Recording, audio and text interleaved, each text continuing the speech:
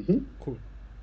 Welcome, welcome everybody, and uh, thank you for joining me on another edition of uh, the Bread for Soul Convos with myself, Sir LSG. And um, yeah, on the other end of the line, I've got one of my favorite human beings to meet up with. Um, Rocco, how are you, my brother? I'm good. I'm good. You know, uh, we are locked down still a little bit, uh, but uh, it's summertime in my side in France, so you can see. Yes, lucky you. I'm cool. you. so everything is fine so far. Everything I can't complain. You know, I Yeah. can't complain. Good, good, man. Um, I mean, um you have been a legendary figure, you know, for me and for uh, for many other people as a as a producer. You know, the stuff that you've done in the past. You know, um, I can't even the, the hits that you've produced. They are countless. you know, not many people will have. You know the kind of catalog that you've had in the past. You know, like set them free, bring Yeah. on the night, all this love for you, the Jack House connection thing, hard time for lovers. There's so many, so many, you know, like um and Yeah. I'm so honored to to to be chatting to you. And people don't know this that we me and you actually had a chat uh, two years ago on a similar concept that I was trying out at the Hit Refresh Studios, and uh, I'm so happy that you agreed to do this with me. So thank you. Yeah, of, of course, it's a pleasure for me. And uh, yes, uh, I'm I'm lucky. I think uh, for the the long uh, exchange, uh, not exchange, the love and support from South Africa, and Mm. of course the rest of the world for my music. And uh, but it's true that especially in South Africa. Uh, my through my music, I was lucky to have some hit there. It Mm. was a home for for my music. Yeah. It's a home for my music. it, it is it is i mean like um you you are one of the people who um visit us regularly here for gigs and i Yes. think that i am grateful for that because um like i say firstly not so many people have had so many hits you know in in, in south africa and um and secondly we are like for me we are blessed as a as a country. Yes we've got a scene that is big that is buzzing with house music but it's like hip hop people if you think about hip hop if hip hop Yeah. people were to visit if Jay-Z was to visit South Africa you know a lot of Would times the- it would be nice right? Like and that's what we've had along the years. We've had superstars you know like for our house music you guys are our own superstars you know um just for Thank the you. music that you made so i'm very glad and we will talk about sa um a bit later as we go on but i want to ask you Yeah. about your own early memories of music sorry uh, i mean no pun intended but like your own early early memories of music you mean uh, uh, you mean you mean you mean? Like growing up so so when you when you were on when you were growing up and listening to okay music okay as okay a okay as a young person um as a kid. as a, as, as a kid yeah as a kid what were you listening yeah to? you so you know uh, so as people know don't know i'm from france from uh, from lyon city and i grew up in suburban so and uh, i'm uh, the last before of 10 kids in our house. And uh, my older brother was a dj on the 80s Mhm. so when I was uh, 12 or 13 years old, my brother was doing monthly a block party, you know, and uh, so of course, every day in the house music was playing, and uh, even many many friends of my big brother, uh, they were passing by the house, drinking coffee almost every day around five five o'clock, playing music with guitar, listening vinyl. So I grew up with music like James Brown, um, uh, let's say uh, funky music like Kool and the Gang, first release of Madonna, produced by Jelly Bean Benitez, for example, Yes. and uh, of course also uh, music like uh, Santana. It's more uh, pop rock and roll music and uh, Rolling Stone, it was a melting pot of different genres of uh, of music and even some uh, French uh, French uh, artists. So my um, my culture and music is let's say it's mainly funky. Oh, sorry, I have uh, something on my screen. okay. So yeah, let's say I grew up with funky music, with uh, so, with soul music, Aretha Franklin. Uh, like I say, uh, there is so many uh, James Brown, and later on, uh, I listen a, a lot of uh, Italian uh, funky producer and uh, American uh, producer. Yeah, and and um, so with regards to house music, what are who are some of the people that um, pulled you in? You know, with regards to wanting to be a producer, like who were you listening to? Um, house music Okay. producers. um, when I was, let's say, 16, 16 years old, uh, there was a, a guy in Paris who was running a radio show every weekend. And uh, he was working with some uh, vinyl shop. So every week he was broadcasting on the on the national radio uh, a radio show called Skydance and uh, every week I was uh, recording. Um, I was recording some tape. Okay, Nice, yeah. people want to see. Yeah. Also a tape from New York and Soul from Japan, Nice. which later on the tape become became more digital, uh, like this. This is digital audio tape. Okay. Yeah. anyway, so every weekend I was recording Skydance on, on in my room, in my yes, in my room, and um, this guy uh, was Dimitri from Paris, and uh, I can say that uh, Dimitri from Paris as a DJ and a selector inspired me a lot uh, on the way of uh, on the way he was mixing the music. And uh, also because he introduced us a lot of house producer like Frankie Knuckles, David Morales, uh, Roger Sanchez. Um, there is so many. There is so many, Mm. and uh, uh, Steve Silk Hurley. This we are talking about late 80s, 88, 89. Mm. So I'm pretty sure, and I'm sure that because of him, I wanted to to start DJing and playing house music. But that music was garage music. It was uh, it was uh, a, mix between R&B and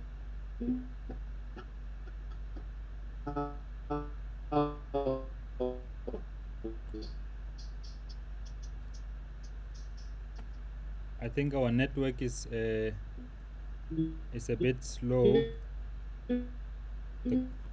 The connect. kind of stuff. Down tempo music, you know. Yeah. Is it better? Yeah, it's better now. It's better now. Okay, okay, okay, okay. Sorry. No worries. Yeah.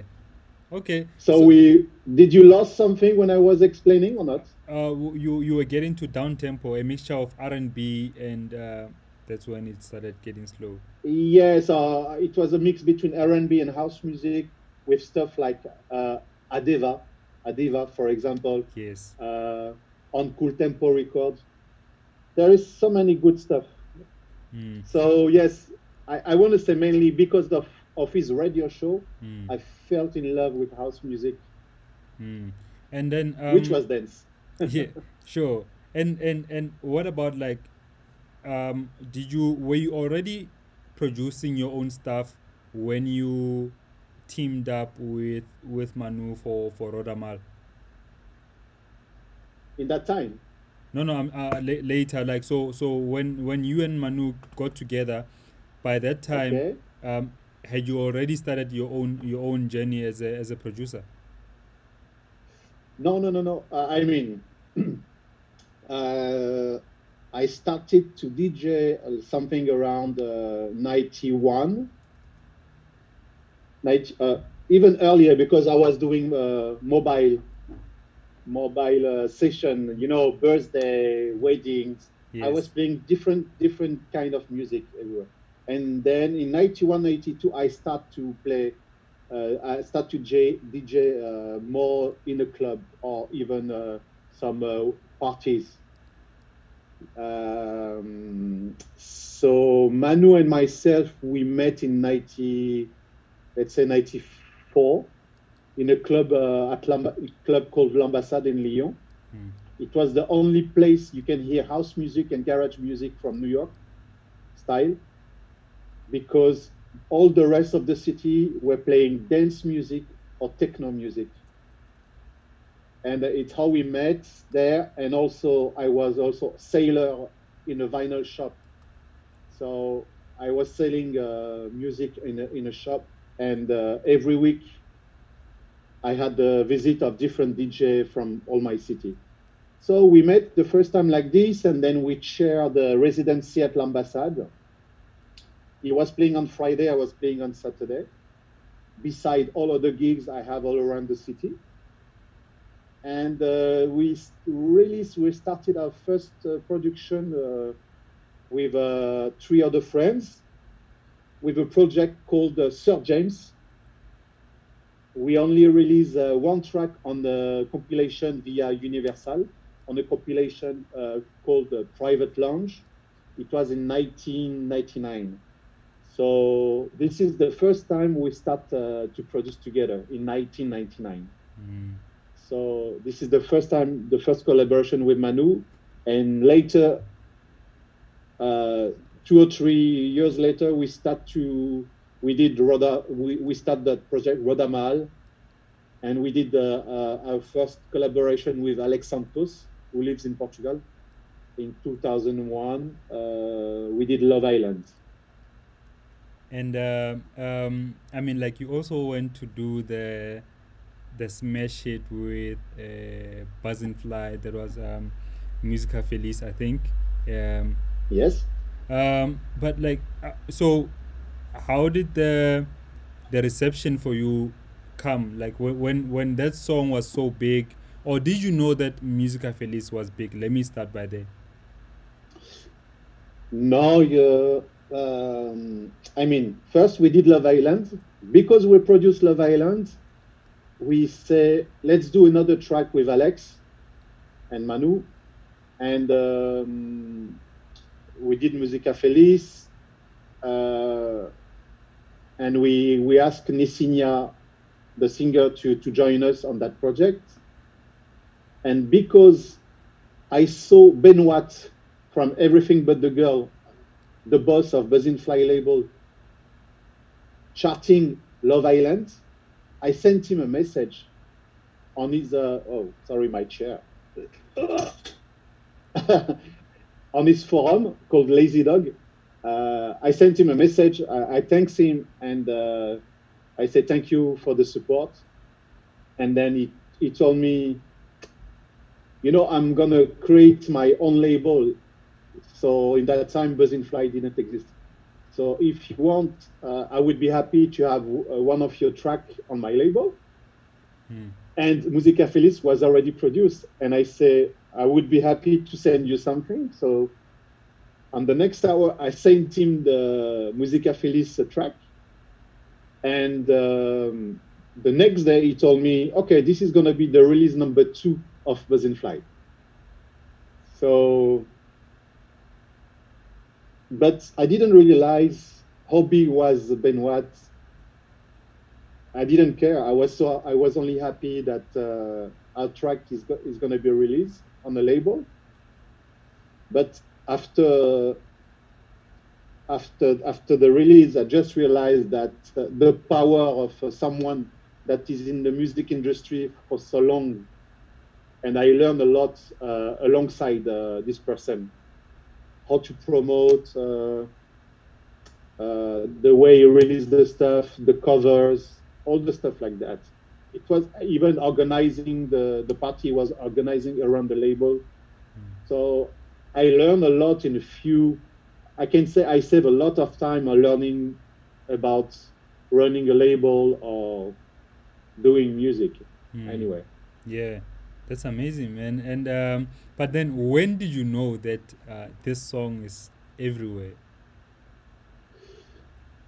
Uh, I knew when I saw that it was charted on the top 40 on BBC One radio between uh, between in in between big artists Mm.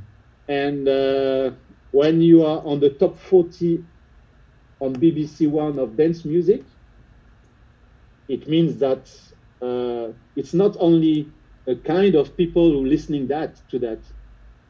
It means a million of people listening to your song and like it. Mm. So the, that was the first uh, the, the first time I realized, but also when Ben Watt invited me uh, to play uh, in his club in London called uh, Neighborhood. Oh, sorry. Before Neighborhood, he, he had a Lazy Dog. Mm. So the first time I went to play for the, it was a release party. I played there, and uh, I realized that Musica Feliz was huge when uh, when he played, and I say, "Wow, okay, Yeah. that means something." Amazing, amazing. But um, um, how is your? I have to ask you about your relationship with Manu, um, especially like currently. Like, are you guys still uh, cool with each other? Of course, yeah, yeah. You know, as as I said, we we know each other since 1994, probably 93. I'm not sure. So since we we spent so many time together, we we went uh, we went in so many parties together. We play a lot together, back to back. We love to do in the past uh, to play with six a vi- um, six deck vinyl deck and the two mixer all, uh, all together Mm. in different party we yeah we we, we were going in uh, Switzerland together listen DJ like Louie Vega um, Tony Humphries and also we spend a lot of time together in the in the vinyl shop. And we almost talk every week. We talk almost every week.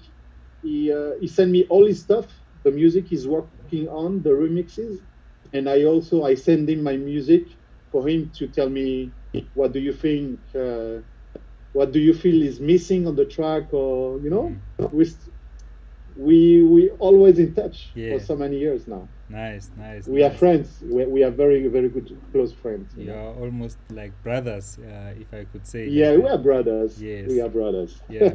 Sorry. Um. I, I want to ask you about your your your your career, especially like with regards to the hit songs. You know, we mentioned some of them. Um, Okay.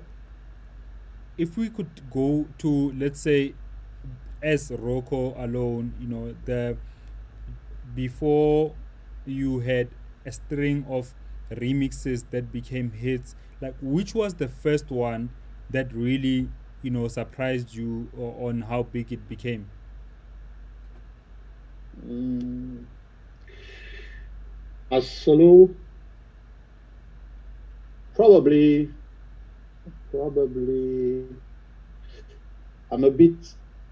There is two tracks that uh, really uh, push me a lot.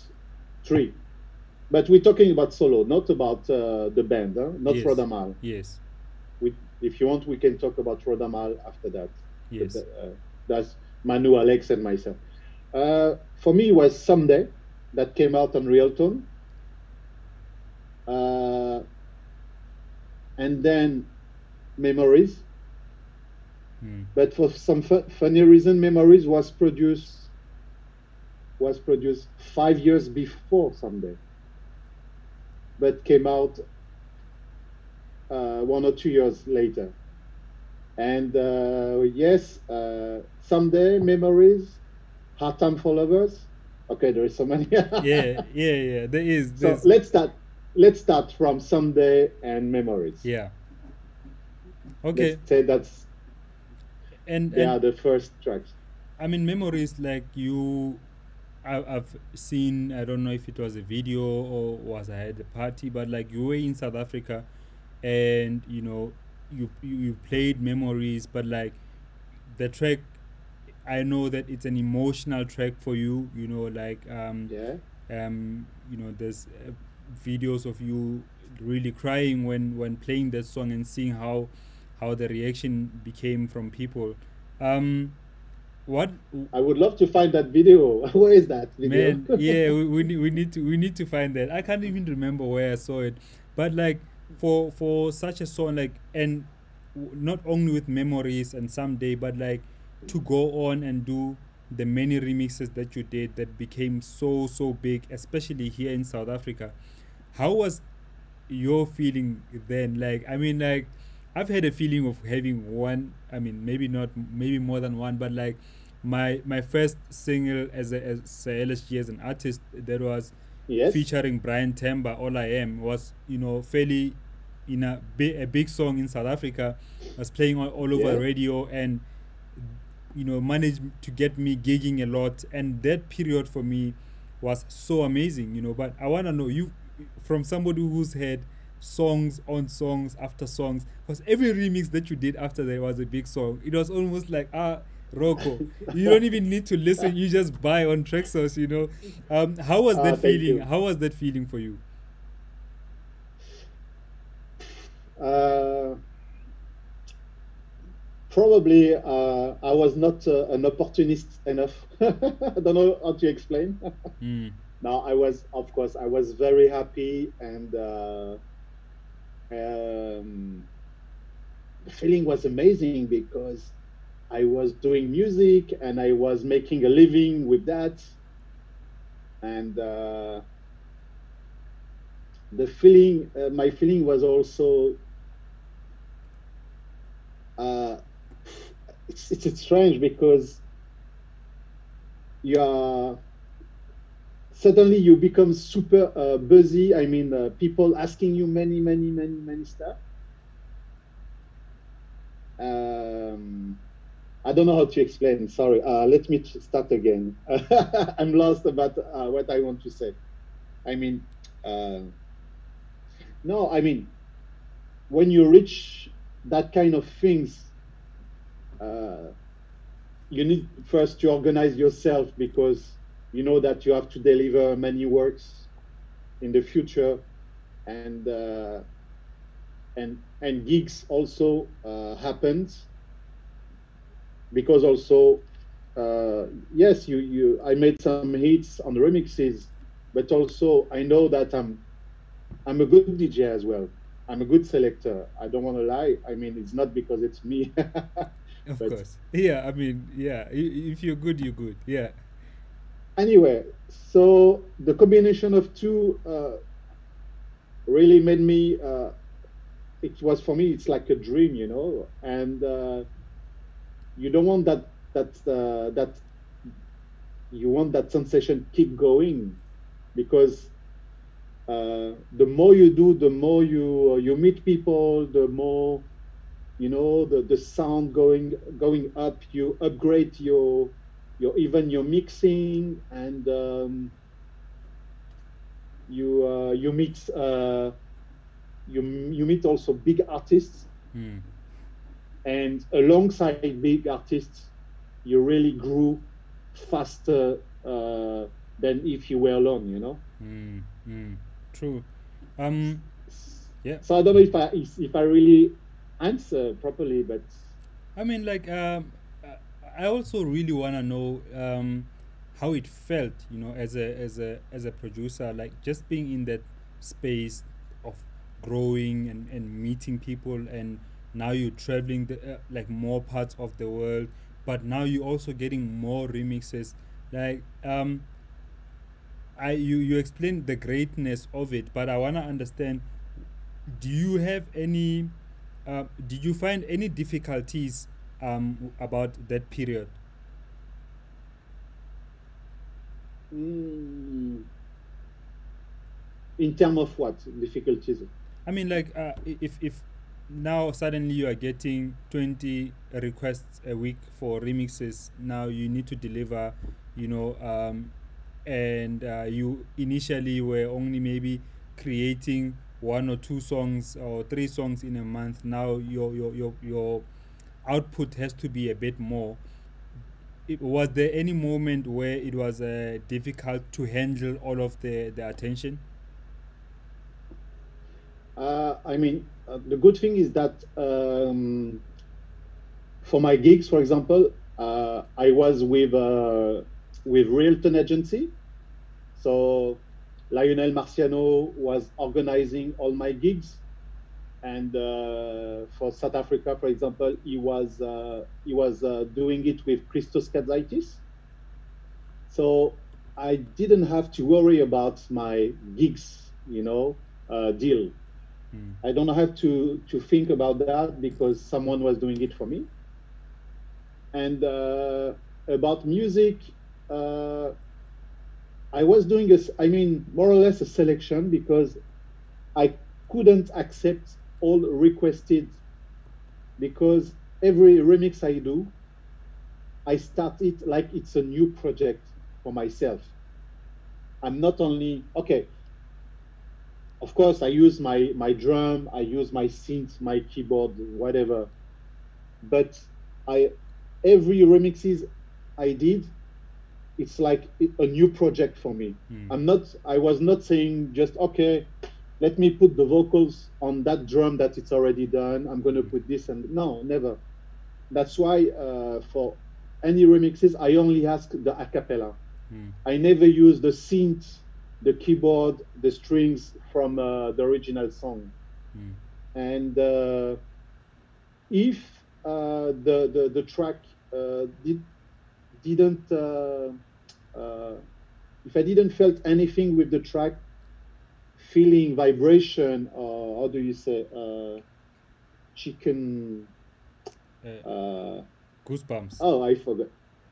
Yes, goosebump. Yeah if the if the I, I don't have the goosebump when I listen the vocals, so I say no, and uh, and also you are, we have to um, to keep in mind something uh, for for some projects I was doing uh, myself all the keyboards because I wanted to do uh, I want to produce it more like underground DJ way. Hmm. And when it became uh, more musical, I was using uh, some musician, mm. like many DJ and producer doing it. Mm. And for, for that, I was using Francois A, uh, the guy who produced with Manu as well, mm. Manu on Buzzin Fly. So I was using uh, also, I'm using Alex Finkin. But anyway, so uh, I couldn't accept uh, uh, remixes with very low fee mm. because I had a minimum of expense to to to uh, to to pay. You know, mm. I have to pay my musician, I have to pay my mixing uh, and my time. So so it a selection was happening like that. You know, yeah. more or less. Yeah, but you mentioned something Sorry. as well. No, no, yeah. no, don't worry. You you mentioned something when you said. Um, uh, you were you were not an opportunist enough um, during that time. What do you mean? Um, I what I mean. Uh, I mean that someone in my situation would probably would probably uh, invest more of uh, more. Uh, I don't know how to say. I could go in a um, more commercial way on music mm. or or or take any gigs requested request but we only decided to go on the really the mu- the, the parties or the music that I really love mainly mm. of so I was talking about that more or less. So yeah. Do don't take. Sorry. Yeah, you say. Yeah, me, I do music for for the love of what, for the love and the respect. I mean, because uh, I believe on my music, and I, I, I, my music is with a lot of emotion, so I can go and play in a place if there is no emotion or people they don't have the love for what I do. You know. Mm, no, I feel you. I feel you.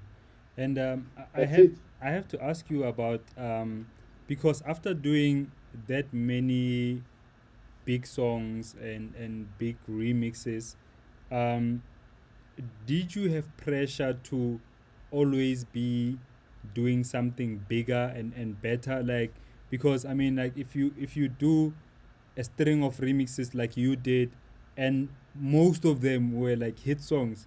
Um, has that, especially now as a, as a musician, does that still um, uh, affect you mentally to want to do better than what you did before? No, um, no, because you know when you do music and you produce, and uh, as artists, you always want to do better than the than the one before. Mm. You're always searching for a new sound uh, or a new mixing. You anyway, you upgrade yourself. Mm. When I listen my my music production from 1999 and now, it's a there is a big move even on the mixing. Mm. So um, yeah, I think uh, unconscious in my in my in my head probably I don't know, but the, that process is there, Mm. but I don't think too much about that. But something uh, something sure is that the music change. There is some uh, modernity. Is it the right word? Yes. you know, new sound, uh, new mixing, uh, which uh, I'm always curious to to see how the people goes to reach that result on the mixing, and uh, I listen also a lot of uh, producer, and uh, uh, I listen a lot of music that is not on my uh, genre of Mm. what I produce. I love to listen more a lot of techno producer, for example, Mm. because I love the quality of the mixing. The the result is massive, you know, Mm. Mm. and uh, I try to understand how they do this, you know, Yes. and I try to put it on my on my mix. I hear you. Yeah, I mean, like that's one way to to kind of learn new things and and introduce new things into your music. You know, just by listening to other people and hear what they do, and you know, like sometimes you're like, okay, this can live within my music. Um, who are some of the people that you that you listen to? Ah, I like uh, the German producer called DJ Koze, Yeah, DJ Koz for French people. I will always list. I will always listen to Louie Vega, of course. He's. I didn't mention him before, but because you're only ask, asking me who introduced me to house music, but later on, uh, when I discovered the Masters at Work production, uh, I never left their releases or their music production. And Louie Vega as the producer with Kenny Dope, they are genius, and as a DJ is one of the best for me. yeah. And uh, so yes, Louie Vega Adjazz, he's amazing producer, He's amazing, amazing. DJ. Um, ooh, there is Andre Lodemann.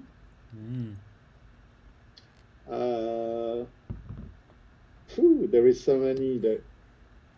Uh, I, wa- I was I was not prepared about that. Uh, yeah no it's okay it's okay i mean like i, I like No. it when when it's not like unprepared you know Yeah. so that eh, whoever comes to mind comes to mind and whoever doesn't it's okay you know like no no no hard feelings Yeah, yeah. you don't have to mention everyone you know Ralf Gum will understand um uh, i want to say um ask you about um uh, French house and, and French house music producers, you know, and the scene in France Um, how would you describe the house music scene in France right now? I mean, like obviously right now we're under COVID nineteen, everybody's on lockdown. But before the lockdown, how was the scene in France? Um, in my city, in Lyon, uh, we are lucky to have a festival called Nuit Sonore, like the big tune called Nuit Sonore. Mm. The track that Vinny Da Vinci play, he made me discovered. Uh, I think, anyway, so Nuit Sonore is a festival, and uh, even before uh, Lyon was a, a, melting pot of uh, of uh, of many parties mainly techno music. Mm. So we have a lot of uh, techno music party, but also uh, later the last 10 years, uh, it was there, there, was a big um, uh, Haim. No, not Haim, sorry. I, I'm mixing the words. Um, oh, it's freezing. Hello, hello. No, um, I'm with you. Ah, we are back. We are back. Okay. Yeah. Uh, there was a there was a return of the 90s production so for the last 10 years uh, we we had a lot of uh, uh, party and uh, about uh, classic classic of house music mm. and um, also we have a, a, big wave of afro afro house music mm. and let's say afro tech mm. and uh, we can say that Black Coffee, Culoe De Song, Themba, uh, or Shimza, uh, they also help that vibe, that wave to be recognized all over the world now. Mm. So it hit, it hit it also my city. And um, of course, uh, it also started with kind of music in Germany, uh, with uh, Innervision and Henrik Schwarz, also Dixon Am, well, because they were big, uh, big supporter and they, they were also, they were the, I don't want to lie, but probably they were the first to release that kind of music. Mm. So let's say there is a big, a big, uh, a big base for house music techno, a little bit for Afro, Afrotech, hmm. deep house also. We have a deep house scene, but mainly, let's say it's house and techno. yeah, and uh, yeah, will we see you um, doing more stuff that is uh, techie?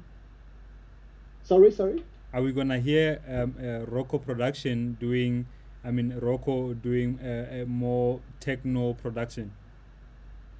Yeah, you know, to I I always uh, put uh, a piece of techie touch on my music because uh, uh when I was younger, I was also a techno DJ.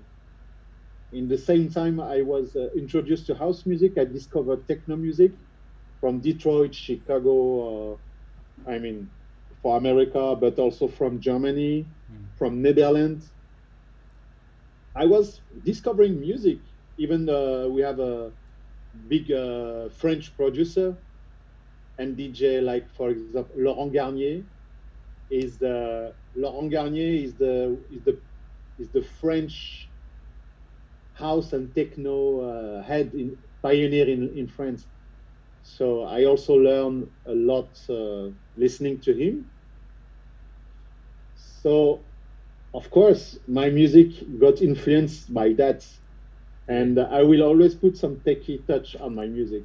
yeah, and I love it, man. I love it so much. I mean, I remember when you released the um, discotheque, um, you know, yeah, and uh, you did the the remix that you did for for Ralf Gum, all this love for you. He still plays it now, and people still go crazy. You know, like that song is yeah no it, it really it's it, it's powerful it's strong you know it really does hit um and just talking about getting into south africa right like um you've been you you've seen your name growing here locally and you come regularly as well what is your your feeling just in general about about the South African house music scene?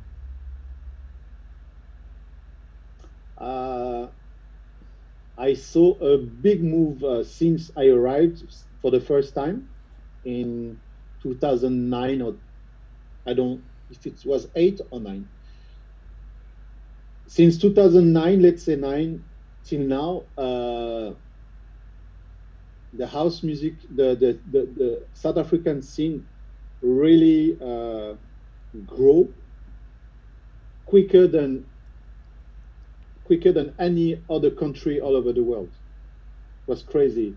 I'm very impressed how guys you uh, learn and produce music so fast now, because let's say 10 years ago we you, you had you had mainly okay big producer pioneer of house music inside if i'm not wrong and slowly guys like you or Culoe or Shaima music uh, if i'm talking about deep house music and uh, and appear and then i was so impressed about uh, uh, how fast you learn and you you found your own sound and the, the quality that you put into the production.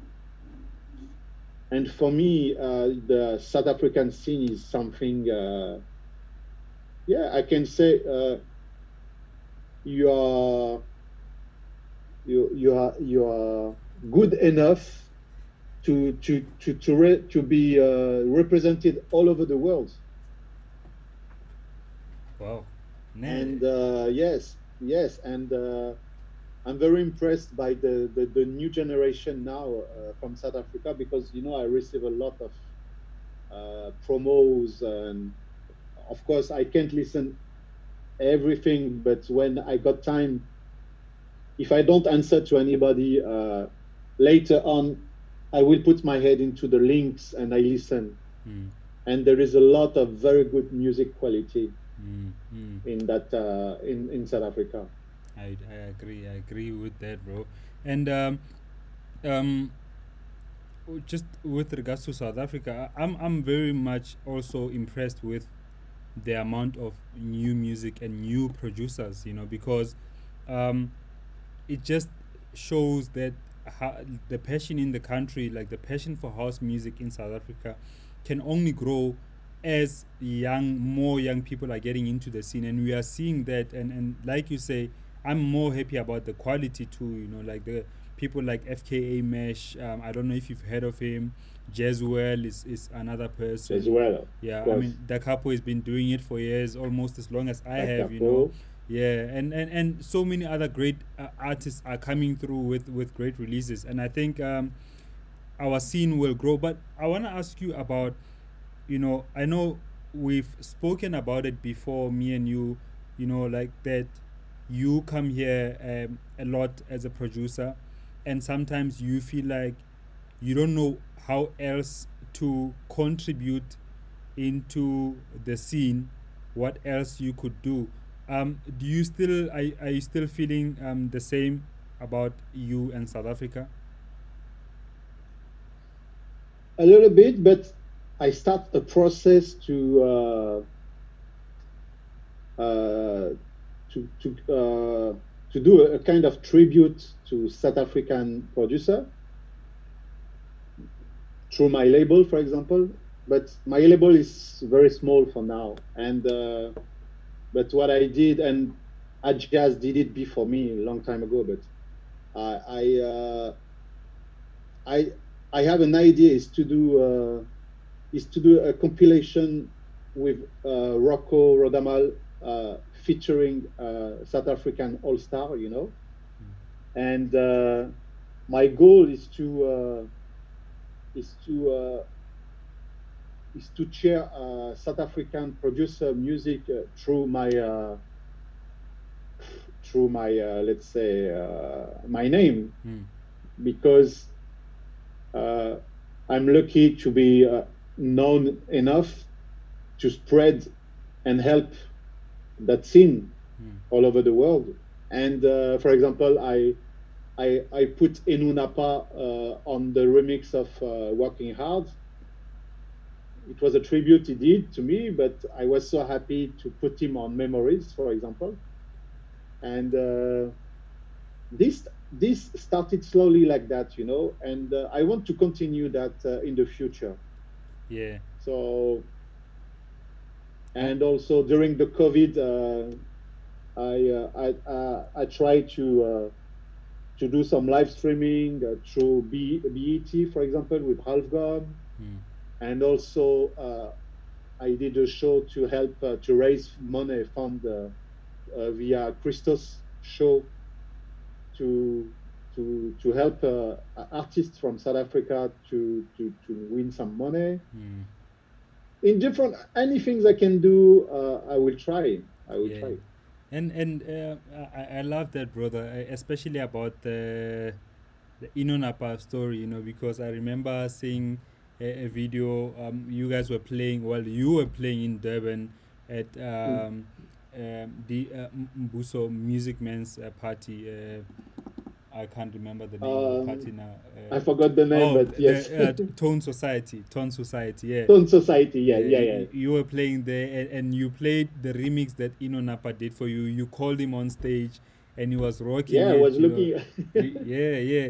I love that so much because, um, for me, brother, like I've always known how humble you are as a person, but you know, for Thank other you. people to see you calling a young guy up on stage during your own set and just letting him be, you know, and giving him uh, the shine, I, I thought it was a, a, a special touch that you did. So, big ups to you for that, bro. Like, uh, yeah, Oh, thank you. it, it. No, thank you. But you know, it's Enoo Napa remix.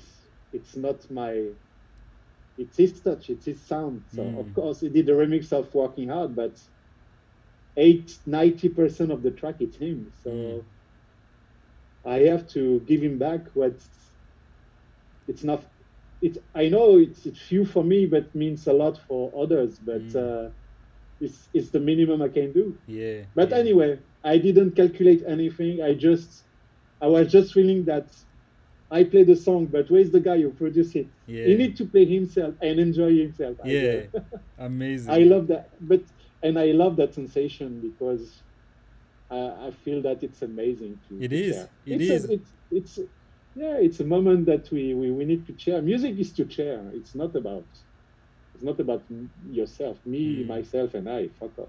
Yeah. Sorry for the words. No worries. It's an internet show. You can say whatever you want. Um, No, no, no, no, no, no. um, and uh, uh, but I, I want to get to uh, ask you about difficult moments with regards to being an artist, especially when you think about financial issues. You know, um, what has been some of the most difficult financial moments of your life? Um,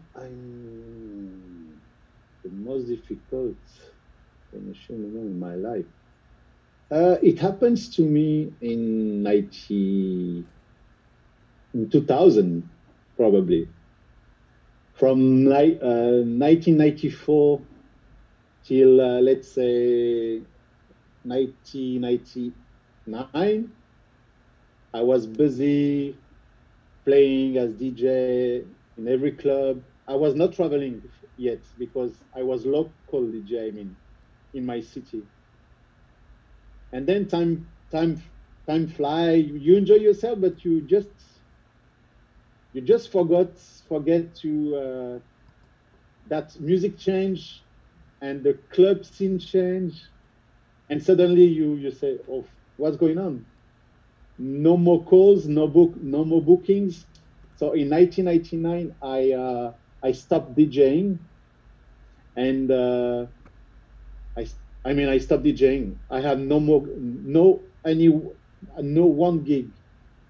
Uh, I don't have any more residency, and uh, I was selling my vinyl collection. I I I had uh, four vinyl uh, turntable. I was sell- I sold all my stuff because I don't have any I don't have any more money to to pay my bills. Mm. So I even sold my uh, my music prod- uh, my music stuff. I have uh, a TB303 Roland. Mm. I sold it. Uh, I was anyway. So that was a very very bad bad time for me. I remember. Mm. So what's happened?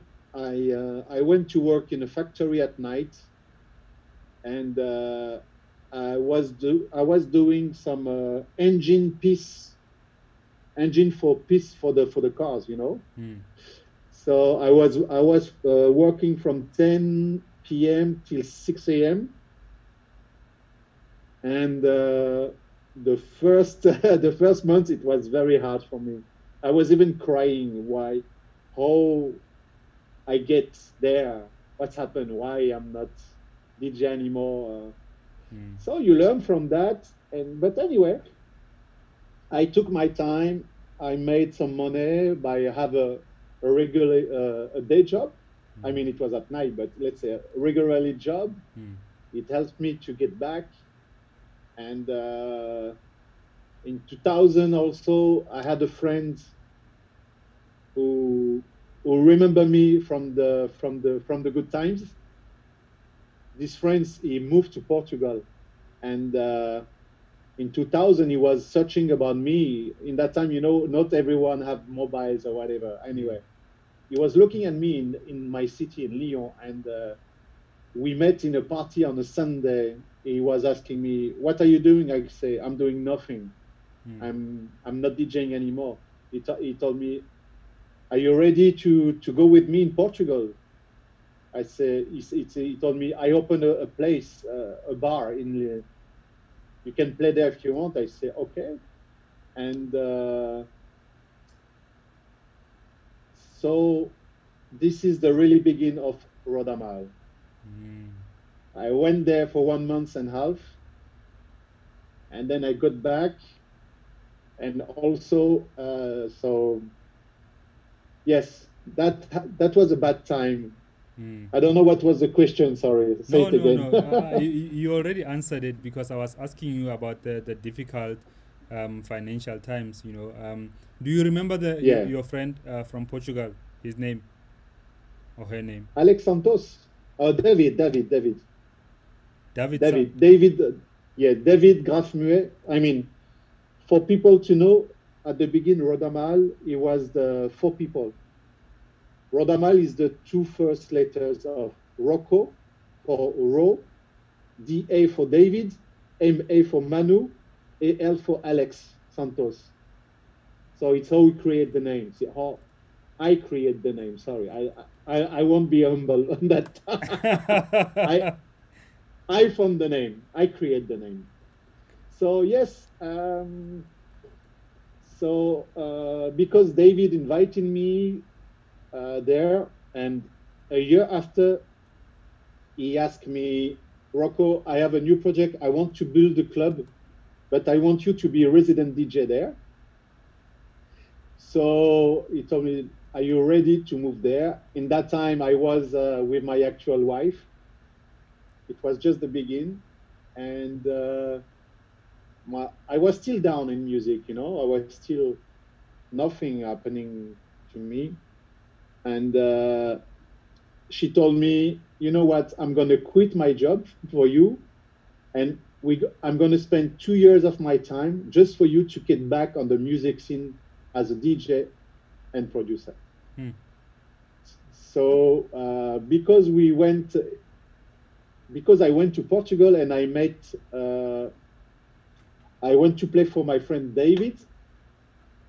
David have a, had a resident DJ who was Alex Santos. We met together.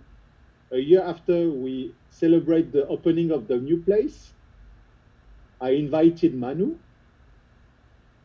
It's how we got all together and um, after the the celebrating uh, the the party, the opening party, Hmm. we were supposed to get back in Lyon with Manu, but we missed the flight.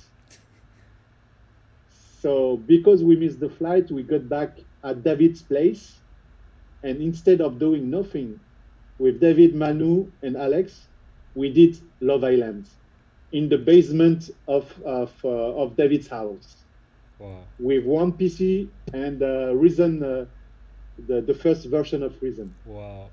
Wow. Yeah, That's I had the I had the album of Jill Scott, and uh, we we used samples from Jill Scott's uh, track called "He Loves Me." Yes. So it's how we did, it's how we did uh, Love Island. Wow. Damn, bro. That's amazing. And, and I mean, you still uh, a, big fan of using Reason, right? Yeah, I'm on the. It's a version 11 now. Yeah. The first one was 1.0, and uh, yeah, now it's the 11 version. Yeah. Yeah, and I mean, like I, I remember I used Reason Four for the longest of time, and when I was telling you, like, dude, just upgrade to the latest Reason. So I, I'm still on ten now. Um, I I haven't gotten to eleven yet, you know, because I'm starting to move away from from Reason, and now I'm only really using it for my drum programming, but most Yeah, of my production, yeah. Um, I use it on. Uh, yeah, I, I mean, I use Reason. Uh, I was also using Reason like a, slave program because I use a lot uh, Cubase for many years. mm, and uh, I'm gonna be back on it because uh, once I had a chat with uh, Opolopo mm, when we were in uh, in Spain together. We were playing for uh, a festival called Vocal Booth or Booth, I don't know what to say, and uh, we were talking about. Uh, music program and he told me that the new uh, Cubase is amazing that he's using it a lot but Opolo, Opolopo is using also a lot of keyboard. He's a real musician, you know. mm, mm. But he advi- advises he he advises me to uh, to get back on it if I got the the chance. So I'm really thinking also to to use Cubase again Yeah, I, I, I hope with that reason. you- if you can just advise Ralf to upgrade to the latest. Ralph is on Cubase five, and that's like Okay. a while ago. You know, like I've been telling you, brother, just upgrade the damn thing. Get a new computer, get a new software, you know. But, but I guess whatever works for you works, you know. Like uh, he, he's still doing great music. No, I mean, you can have the the first version, and uh, Ralf Gum is doing an amazing job. The mix, the Ralf Gum mixing, they are they are dope. yeah, You know, super, super. the sound is big, is huge, it's clear, it's amazing. Mm, So, as far you feel comfortable with yourself, go keep going. for sure. But for sure, uh, and it's strange because I mean it's not strange. Ralf Gum, he told me or he said in an interview, uh, he always know we exchange one. Uh, he told me uh, change is good.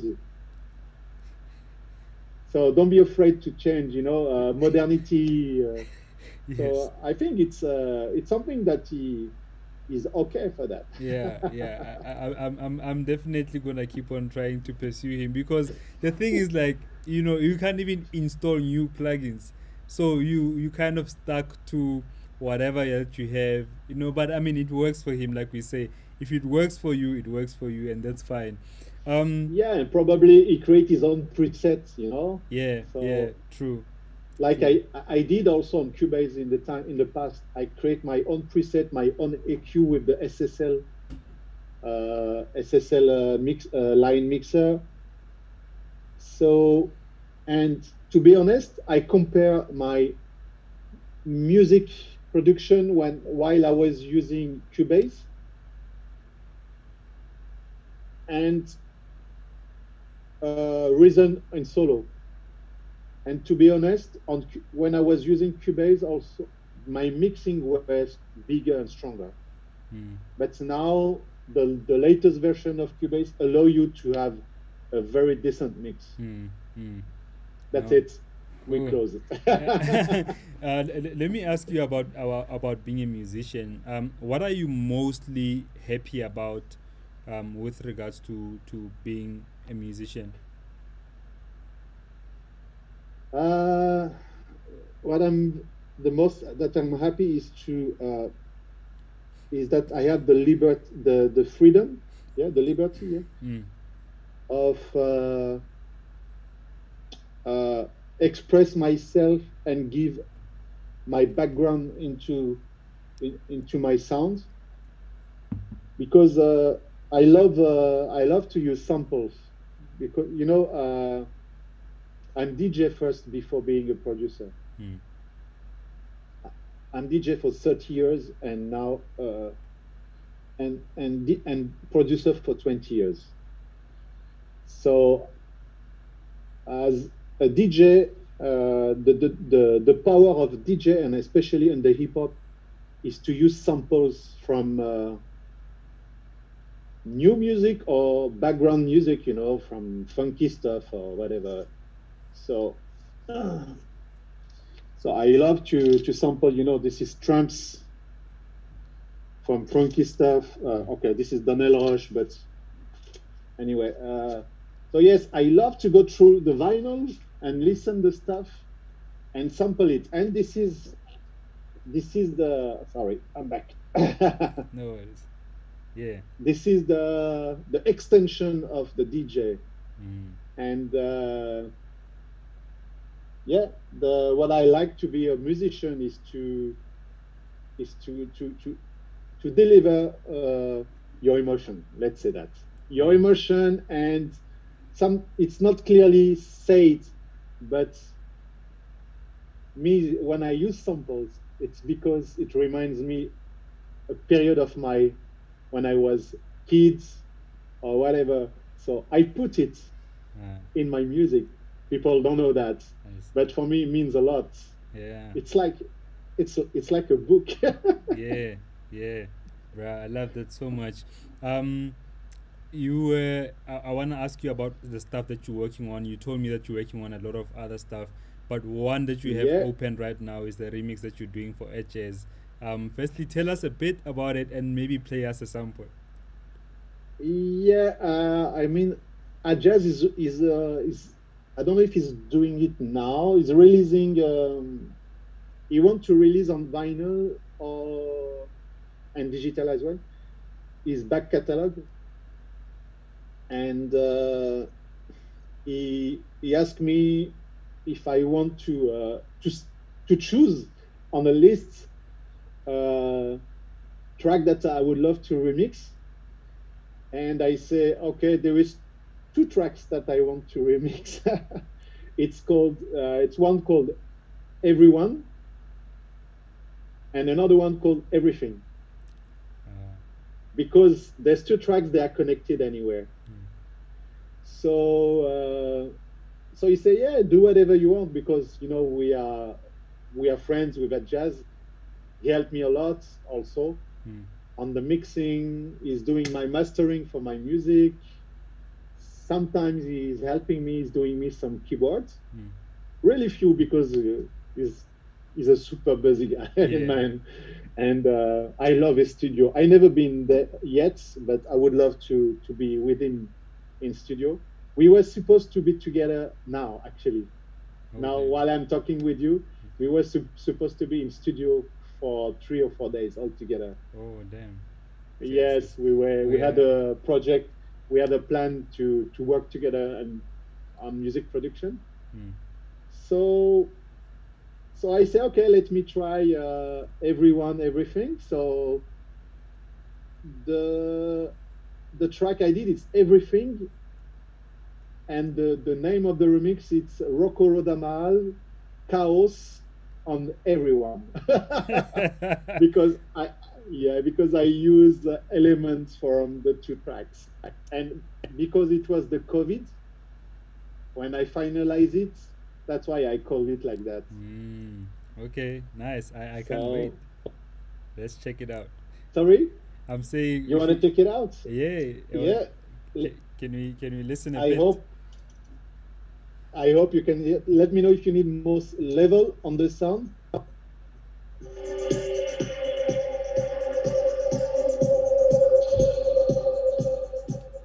The original mix,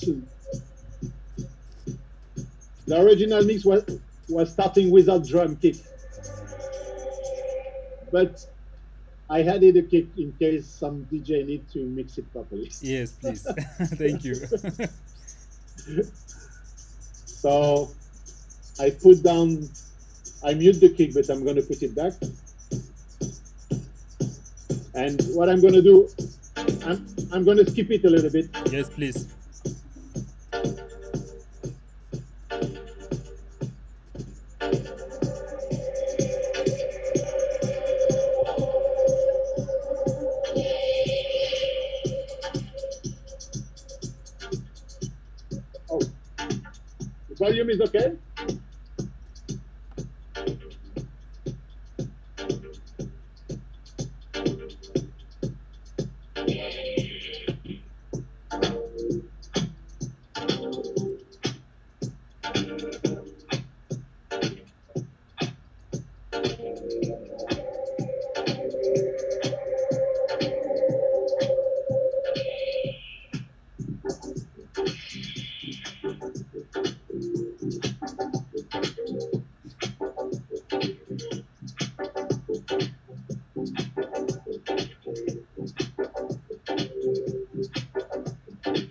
Damn. I can't wait to hear this, bro. I I really can't wait to hear. Um, do you know when it, Yeah. when he's gonna release it? I sent him what you are listening now. I sent him yesterday Okay. the final mix. So I hope in one month. I don't know. I'm yeah. not sure. Yeah, we'll we, see. we didn't we didn't talk again together about that so yeah uh, i'm working on this um, also uh, yeah uh, i have another i'm doing a remix for frank roger Nice. uh, but i have that project also it's a, I, I- i'm doing a cover of temptation the the soul funk band from the 80s Yeah. so it sounds a bit like that. I'm going to skip it. Yes, please. Pure of your vocals.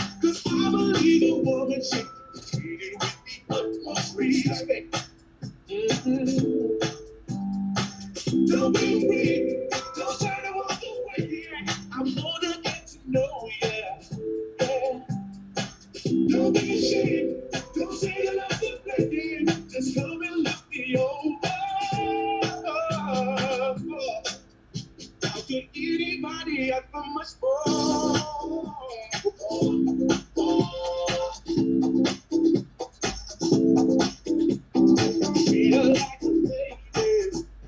This gonna like a lady. is this gonna be on uh on on uh, Realtone? Memories, my label. Nice, nice. My Nice. this is this is the my, this is my track called um, "Treat Her Like a Lady." It's a cover of Temptation. Mm. Um, the one, uh, the one on Realtone is gonna it's uh, it's this one. I show you. It's gonna take few times to be done. Uh, ah, where is it at? Where is that? Where is that? Jovan, Jovan. Oh, is that one? It's gonna be quick. I'm I'm really looking forward to that cover, man. Uh, so did ah, the did you um, record new vocals or you just use the the old ones? It's new. No, no, no, no. It's, it's a cover. So cover. It's a new vocal. It's Yeah. It's sung by another person. Okay, cool. Who's singing? Yeah. Who's singing one day? Sorry, Who's the singer? is a non guy. He's a non guy. He's a he's a guy who's working in a studio for another friend. So he's not gonna be featured on the track. Oh, okay. I see. I see. But uh, yeah, and this is the this is my remix. My remix for uh, Frank for Realtone.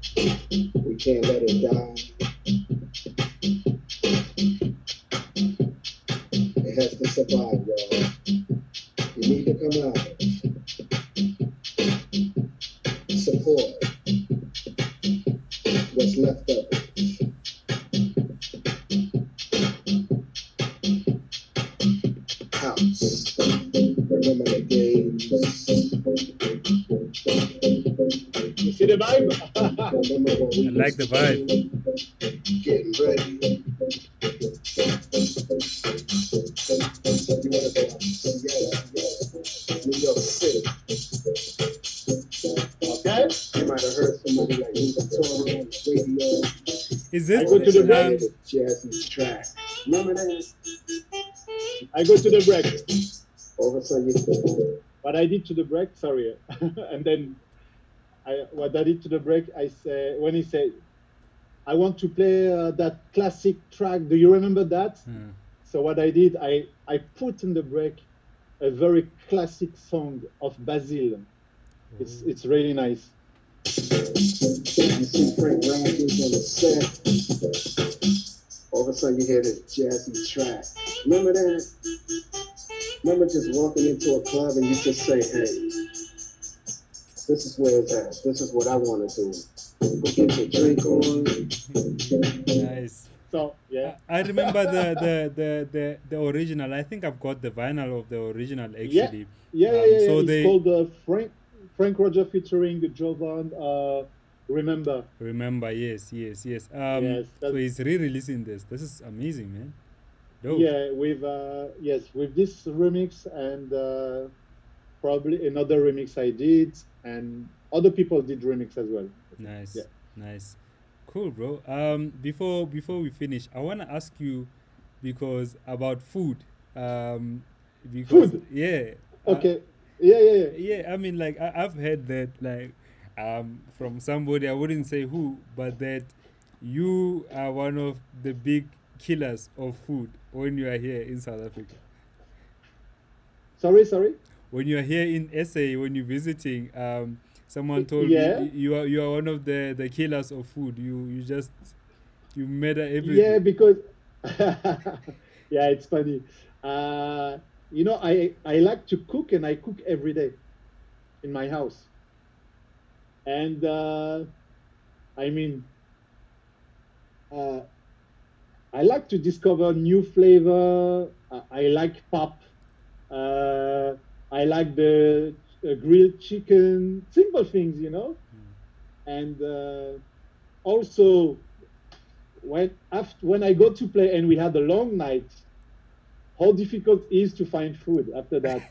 you always have uh, McDonald's or whatever. So what I do, I say, guys, when I'm in the gig, please do me a takeaway of food for my, for the for af- for the after show. yeah, for the room. after the- for the room. yeah. for the room. I and I check my series. So I'm very happy. Simple things, you know. yeah, yeah, nice, bro. Yeah. Anyway, no, Rocco, I, I'm I'm really happy that you you you took some time to to sit with me and, and have a chat, brother. I, I really appreciate you as a person. Thank you so much. I think you are one of the nicest people that I've ever met, you know, and and um, but also just w- with regards to your own music, you know, the music that you've done, that you've gifted into our scene. I'm I'm really I'm truly grateful for that, and uh, I wish No, you thank you. I wish you more hits, brother. I wish like more and more hits. I wish for for for us all. And uh, no, uh, you know, uh, thank you for your word. But uh, also, I keep in mind that uh, for me, it was a uh, it was lucky for me to to discover South Africa because I never ex- expect such a love for my music and without South Africa probably I won't be here to do what I love to do to be honest Mm, to be honest so thank you so much no, and my love for South Africa will be the same cool. still. Sure, brother. No, Still. thank you, thank you. So I'm very I'm very uh, excited to to do the next the next step for me is to give back what South Africa gave to me. It's the minimum that uh, that the minimum that I can do. Mm. Yeah, Yeah. And, and and thank you so much for that. Um, but um, for everybody who's watching the show, thank you so much for watching the show. Thank you.